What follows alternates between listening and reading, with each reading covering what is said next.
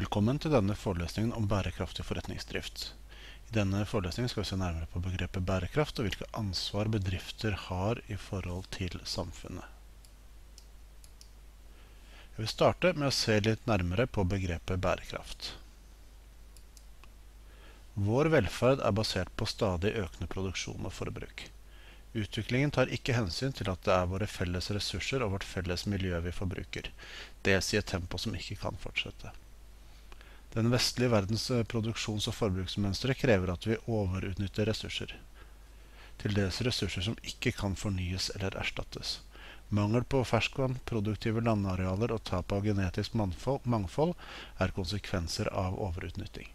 Drivhuseffekten, klimaendringer, forurensning fra utslipp av kjemikalier og forsuring av vann og jord viser at vår aktivitet forringer naturkvaliteter kommende generasjoner trenger for å dekke sine behov. Bærekraftig utvikling handler om å ta vare på behovene til mennesker som lever i dag, uten å ødelegge fremtidige generasjoners behov og muligheter til å dekke sine behov. For å skape bærekraftig utvikling må verdenssamfunnet jobbe på tre områder. Det må jobbes innen miljø, innen økonomi og innen sosiale forhold. Klimagassutslipp skaper global oppvarming og store miljøproblemer. Størstedelen av dagens utslipp kommer fra rike land. Miljøproblemene som flom, tørke og andre naturkatastrofer rammer mennesker i fattige land hardest. I tillegg truer presset på naturen artsmangfoldet, det biologiske mangfoldet. Klimagasser oppstår bl.a. ved forbrenning av olje, kull og gass. Disse ressursene er ikke fornybare. Når du bruker opp all kull i en gruve, vil det ikke komme nytt kull av seg selv. For å stanse klimaendringene og skape bærekraftig utvikling må verdens land derfor satse mer på fornybare ressurser som skog, vann og vind. I dag er det et økende gap mellom fattige og rike. Størstedelen av verdens befolkning bor i fattige land, mens det er mennesker i rike land som bruker mesteparten av ressursene. Hvis alle mennesker på jorden skulle ha samme forbruk som mennesker i USA, måtte vi f.eks. hatt 4,4 jordkloder for å dekke ressursene. For å minke gapet mellom fattige og rike må vi få til en likere fordeling av verdens ressurser. Det betyr at vi må skape et økonomisk system som gir fattige land muligheten til å skape vekst. For at denne veksten skal være bærekraftig, må det imidlertid tas hensyn til miljøet underveis.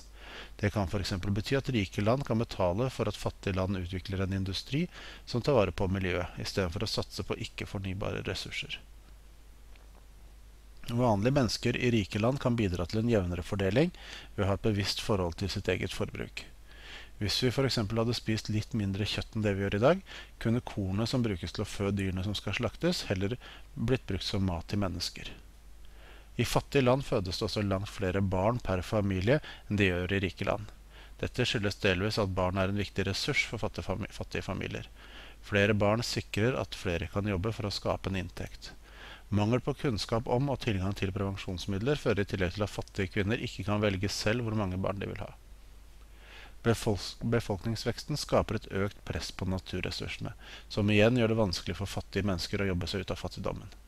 Mange velger derfor å flytte inn til byene, der de ofte ender opp med å bo i slumstrøk.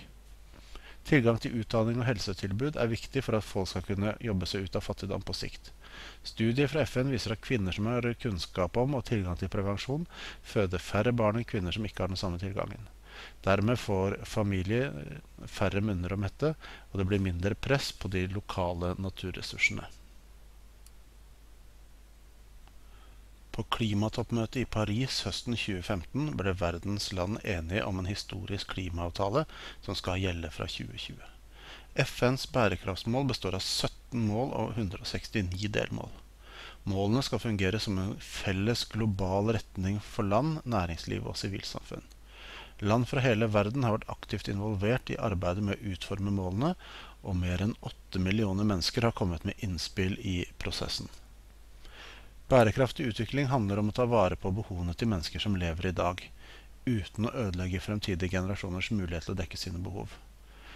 FNs bærekraftsmål reflekterer de tre dimensjonene i bærekraftig utvikling klima og økonomi og sosiale forhold. På det samme klimatoppmøtet i Paris det verdens land enige om en historisk klimaavtale, og her er hovedpunktene. Alle land har forpliktelser. Det skal ikke bli mer enn 2 grader varmere, og helst ikke mer enn 1,5 grader varmere. Landet har en plan for hvordan de skal greie dette. De rike landene må betale, de mindre rike kan betale. Og alle land må tilpasse seg klimaendringene. Så har vi da det store 1000-kronerspørsmålet. Hva har så alt dette med innovasjon, bedriftsetablering og norske bedrifter å gjøre. Det er nå på tide å se på bærekraft fra en bedrift sitt perspektiv. Fokus i denne forelesningen vil være bedrifters samfunnsansvar og hvordan bedrifter kan arbeide systematisk med sitt samfunnsansvar. Eh, bedriftens samfunnsansvar kan defineres som bedriftens integrasjon av sosiale og miljømessige hensyn i sin daglige drift på frivillig basis, utover det å overholde eksisterende lover og regler i det landet man opererer. Samfunnsansvar fungerer ofte som en selvregulerende prosess der virksomheten kontrollerer og er sikker på at den følger lover, regler, etiske standarder og internasjonale lover og regler. Og som tidligere nevnt går mange virksomheter langt utover dette for å forsikre seg at de driver bærekraftig. Hovedmålet med bærekraftig forretningsdrift for virksomheter er å øke virksomhetens langsiktige profitt, samtidig som de får større tillit hos aksjeeiere og samfunnet generelt. Hovedfunksjonen er altså å skape positive effekter for miljøet og eierne, som igjen får positive effekter for kunder, ansatte, investorer, lokalsamfunn og verden som helhet. Figuren viser hvordan samfunnsansvar ligger i kjernen av bedriftens virksomhet. Hvordan økonomisk vekst, miljøhensyn og hensyn til samfunnet sammen skaper en bærekraftig virksomhet som tar samfunnsansvar. Å drive en bedrift kan ses på som en rekke selvstendige aktiviteter som når de henger sammen, skaper bedriften og verdiskapningen i bedriften. Disse aktivitetene kalles gjerne en verdikjede.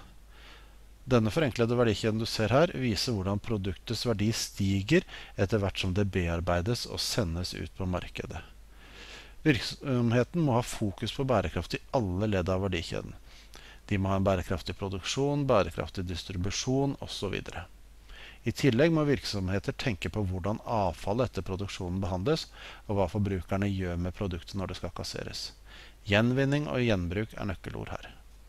Men virksomheter kan ikke bare tenke på seg selv dersom de skal ha en bærekraftig profil. Alle andre bedrifter virksomheten er i kontakt med, påvirker også virksomhetens bærekraftsprofil. Har virksomheten en underleverandør som ikke leverer bærekraftig, påvirker dette virksomhetens totale bærekraftsprofil.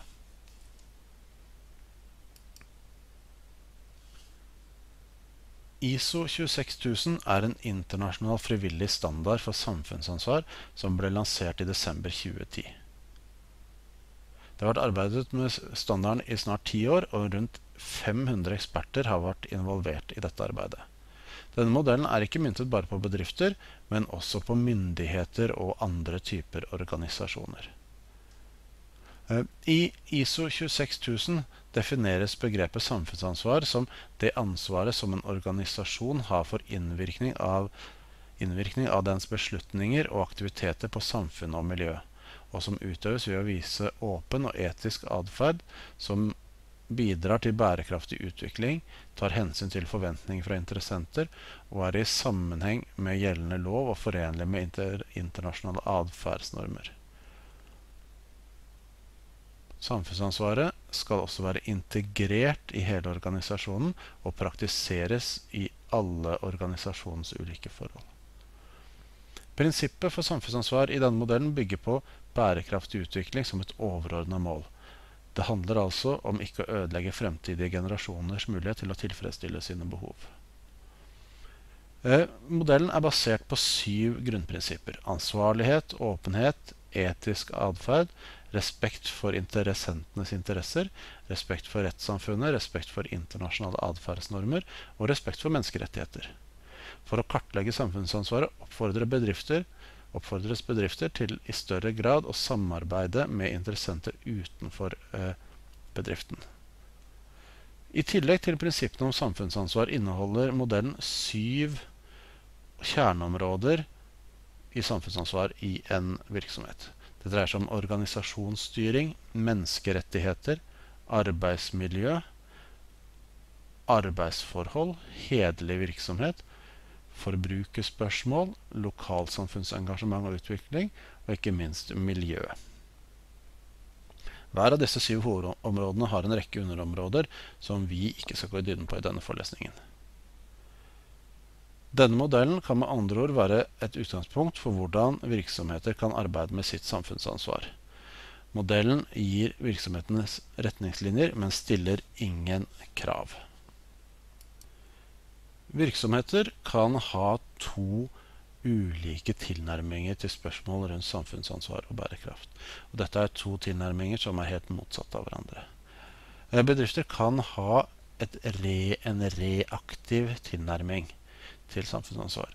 Dvs. Si at den setter i verk tiltak når det er nødvendig. På en måte som det å slukke en brann. Oppstår det en brann, så slukker man den. På den andre siden så kan bedrifter ha et proaktivt forhold til samfunnsansvar. Dvs. Si at man iverksetter tiltak i forkant av de utfordringene man tror kommer. Eh, man kan tenke at det er da å drive brannforebyggende arbeid.